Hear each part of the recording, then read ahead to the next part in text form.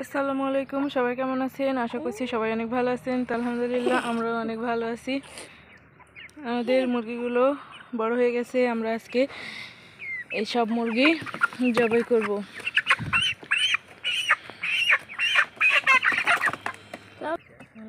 যদি এ পারা থাকবে মোবাইল। দূরে গেলে কি হবে? যা ক্যামেরা টাইনে দিলে কি হবে।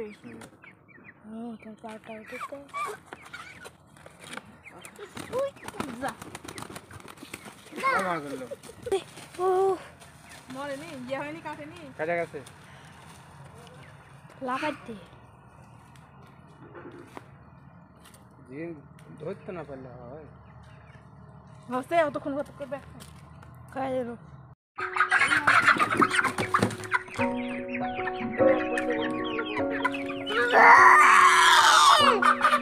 Thank